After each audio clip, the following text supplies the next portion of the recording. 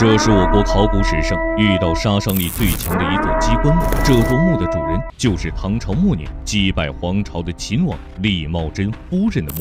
眼前这个三层楼高的端门就是大墓地宫的入口。想要进入地宫，就要将端门下方的石块移开。然而，谁又能想到，看似普通的木门却暗藏杀人机关？因为木门缺少一根横梁，只要取出其中一块石头，整个木门就会瞬间塌方，将盗墓。贼埋葬于此，不能抽出来。抽出来的话，这个短门整个就塌了，因为它这个这个垒石头的上面，它没有一个大比较大的一个横梁。这个危险而又复杂的防盗机关，工匠究竟是如何修建的呢？地宫建成后，皇后又是怎么下葬的呢？疑问还未解开，这时墓中出土的一块石墓志，让专家重新燃起了希望。还没等专家缓过来兴奋劲，在他的旁边竟又发现了一个有底有盖、造型精美、刻画多种纹饰的石匣子。这一发现立刻把现场的氛围拉到了高潮。经过初步检查，专家发现石匣子密封完好，使用这样沉重坚固的容器，里面一定存放着贵重的物品。当专家将石匣子送到实验室进行 CT 扫描后，扫描显示的结果让在场的所有人。大吃一惊，石匣子里面究竟装的什么？保持你的好奇心，双击点赞，加个关注。本期视频为大家揭秘李茂贞夫父母之谜。两千年冬天的一个夜晚，陕西省宝鸡市北郊高大的黄土台原上，一处寂静的小山村突然传出一声巨响。突然晚上的话，一声巨响，玻璃厂子咵咵咵都都这么震的了，四点多左右的话这么响的呀，响一下。当时我考虑我是这么大的巨声是啥？在这样的深夜，被响声和震动声惊醒还有很多人，但谁都不敢出门一探究竟。直到第二天早上天亮，村民才沿着响声传来的方向查看，很快就在一座土丘旁边找到了发出巨响的原因。原来早年间这里就有一座大墓，起初大墓旁还算安宁。但从九十年代起，这里总会出现一些不明身份的人，在大墓附近频繁活动。附近的村民们也会隔三差五的在封土堆上发现盗洞。庆幸的是，几次盗墓形成的盗洞并未打穿墓室。直到这次突然响起的爆炸声，当地文物部门才意识到大墓已经处在岌岌可危的边缘。这个土丘很明显是一座大墓的封土堆。在陵园村村民的讲述中。文物工作者得知，就在几十年前，大墓前还保留着一些石人石马，能够使用石人的墓主人生前地位至少是一二品的大员。陵园村大墓的主人究竟是哪位大人物呢？从村民口中，文物工作者还了解到，大墓曾经还有一块石碑，石碑上清晰的写着墓主人的名字，有个笔字，笔字上面的话，前面写着是，呃，唐齐王李茂贞，后面碑文上。记载着这个是，呃，他这个生平突厥的话有这个唐亲王李茂贞，所以这里的人把他叫齐王峰、亲王峰。这位叫李茂贞的大唐亲王究竟是何许人也？查阅史料，专家发现李茂贞原名宋文通，是唐末的一位藩镇节度使，因为镇压黄巢起义、护送唐僖宗有功，被赐名李茂贞，一度受封齐王。唐朝灭亡后，后唐皇帝加封他为秦王，所以村民口中所说的唐秦王李茂贞中的“唐”是后唐。有了村民们极为肯定的描述，文物工作者暂时认定大墓为李茂贞墓，并重新立了一块标识。二零零一年四月，考古队对被盗大墓进行了抢救性发掘。通过勘探结果显示，大墓的规模惊人。大墓南北长四十五米，东西宽二十二米，面积接近一千平方米。勘探的这个过程中，这个村上的张小明书记给提供了一个线索，啊，就是在李茂贞墓的西边还有一座墓，七十年代平整土地的时候那个平整掉了。这现在看不到了。如果这是一座一陵双冢，那么大墓很可能是一座夫妻合葬墓。通过钻探，考古队员发现这座墓要远比李茂贞墓小。最终，考古队员将规模较小的陪葬墓命名一号墓。规模更大的主墓为二号墓。通过商议，专家决定先发掘规模较小的一号墓。随着发掘的深入，一号墓的墓道逐渐显现了出来。四月十六日，正当工人们在距离地表七米的工作面上挖掘土方时，墓道靠近墓室的一侧泥土中。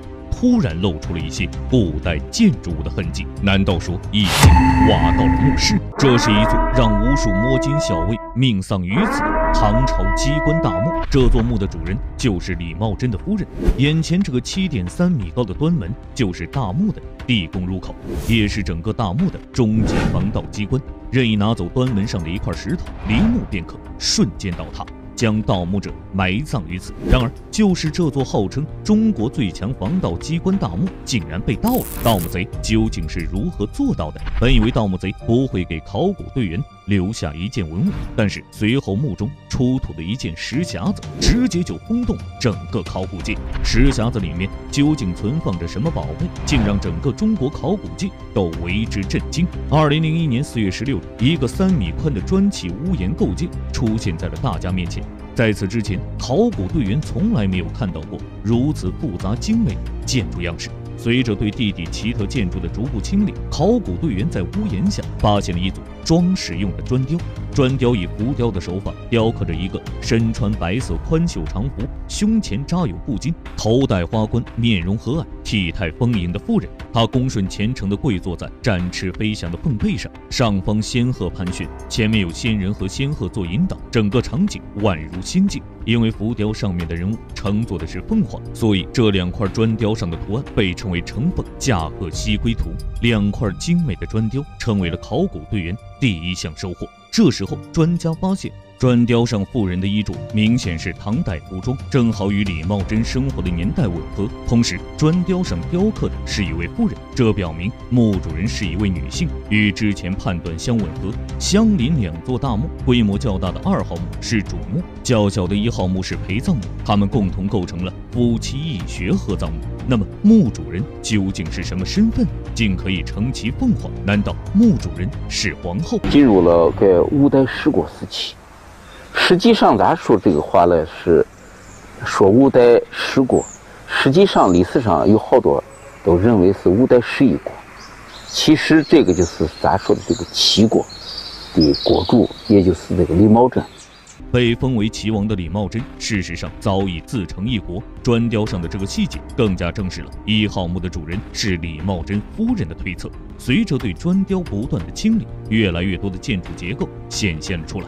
这时候再看这座奇特的建筑，简直就是一座高楼的萎缩景观。屋檐下的最上层建筑中央是三间大殿，大殿两侧斜向又伸出了两间厢房。让人惊奇的是，这两间厢房砖雕的门扇半遮半掩，各有一位女子探头张望。一为迎客状，一为送客状。到了这个时候，考古队已经确认，他们发现的是一座极为罕见的被称为端门的古代墓葬设施。这个中国人有个传统的东西，死死如生，他就是把这个墓葬的结构做的和你这个生前所住的这个庭院的结构相近。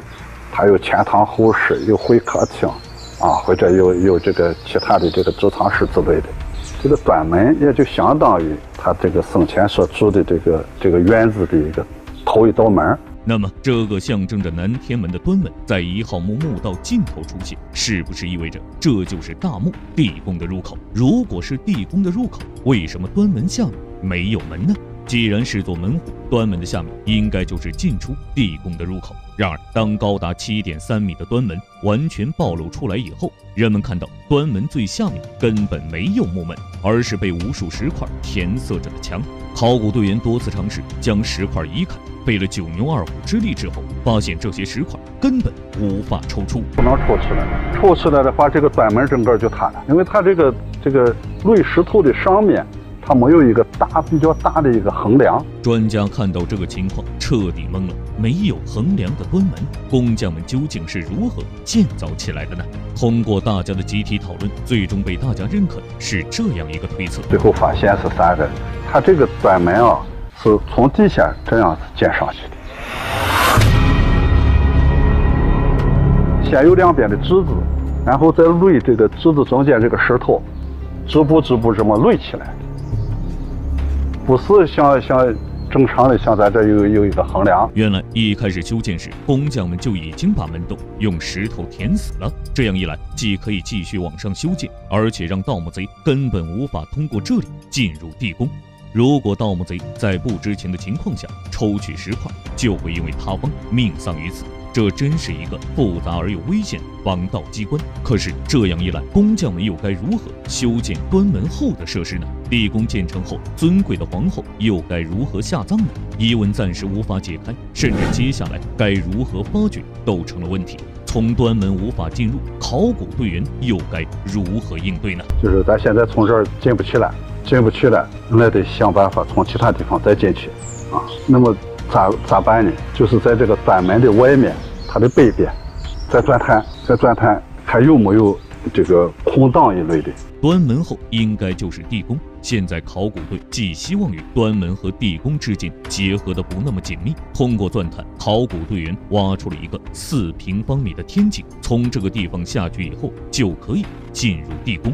如此高等级、规模宏大的地宫，考古队员非常期待打开地宫的那一刻。此时，陵园村一号墓的发掘已经进入了最关键时刻。墓主人究竟是不是李茂贞夫人呢？如果是她，那么这位尊贵的皇后死后又会享有怎样奢华的墓室呢？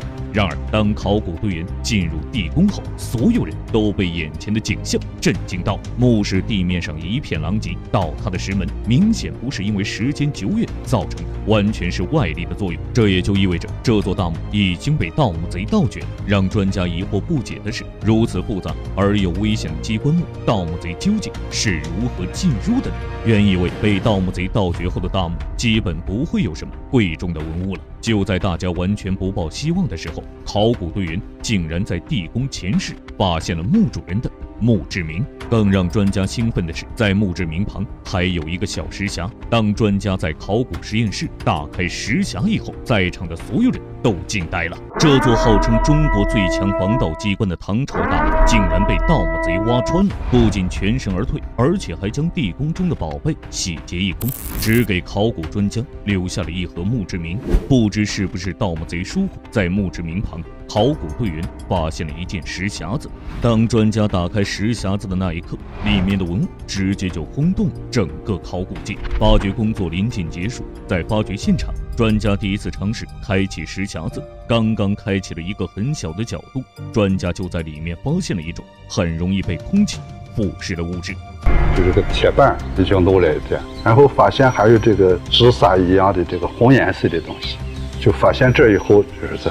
对了，咱做不了了，不能在这儿做。最终，石匣子被运到了西安市文物修复中心，做了一次专业的 CT 扫描。扫描显示的结果让专家疑惑不解。这个拿到实验室，具体的这个这个对去砌的时候，就砌了一块这个铁板，铁板底下稍微带一点弧度，没有这个挖下去，就一个铁板，两块石头中间夹了一块铁板。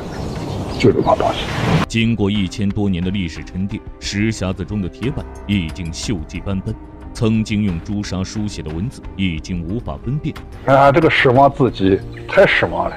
关于这块奇特的铁板，专家猜测它会不会就是史料中记载的丹书铁券？就是免死牌，这个王公大臣功劳很大啊。这个皇上给他这个家里面赐一块免死牌，就是从今以后他的子女犯了法呀，不是就可以免死吗？丹书铁券的出土，立刻在考古界引起了轰动。遗憾的是，丹书铁券上面的文字已经无法辨别。要是能出土一件保存完好的丹书铁券，那绝对是一件无价之宝。二零零一年五月十日，考古队员通过端门后的天井，成功的进入了地宫内部的前厅。原本以为这会是一千多年来第一次有人造访这座地下宫殿，然而考古队员看到的却是一片狼藉。倒塌的两扇石门告诉考古队员，这座大墓已经被盗掘了。这让专家疑惑不解：大墓的端门封得死死的，完全没有被毁坏的痕迹。盗墓贼究竟是从哪个位置进入地宫的？既然地宫入口没有被打开过，墓主人的遗体又是如何下葬的呢？镶嵌的这一种门，这种石门的结构不可能打开，除非你把它砸开，然后你再退回退回来到这个砖楼这儿来，砖楼整个就是乱石头在底下镶嵌着，你不可能抽起来，抽不出来。很显然，被盗墓贼毁坏的两扇石门和抽取石块就会塌方的墩门，都是大墓的防盗机关。可是，这样的设施虽然可以隔绝内外，阻挡盗墓贼，但是大墓主人又该怎样下葬呢？就是因为这个镶嵌式的这个门发现以后，这反过回过头来才思考这个端门怎么建造的。从这个后来这个思考这个角度讲，应该是先把人放进去以后，整个随葬品这些东西都放进去，然后再建造这个石门，石门一次就相似。完了以后，再建造后面的庭院或这个前面这个端门。先下葬后封门。一千多年前，针对一号墓主人的安葬仪式完成之后，工匠们还要在十五米深的地底继续工作很长一段时间。这一切都是为了防盗。弄清楚了石门倒塌的原因，队员们一时间变得非常沮丧。虽然墓葬被盗，但清理工作还是要认真完成。然而，让所有人没有想到的是，本该空无一物的前庭，考古队员发现了许多图案精美的砖雕。这是一幅八人抬轿的真实图案。这一发现一时间轰动了考古界，直接填补了史料不足。由于本期视频有点长，下期视频为大家详细讲解这幅八人抬轿图。二零零一年五月十七日，随着一号墓墓志铭的出土，专家终于揭开了墓主人的身份之谜。下期视频有两大看点：其一，全面讲解盗墓贼如何避开最强机关进入地宫的；其二，全面讲解发掘李茂贞墓全过程，比夫人墓要大两倍的二号墓地宫会有哪些让人意想不到的重大发现？保持你的好奇心，双击点赞，加个关注，咱们下期视频不见不散。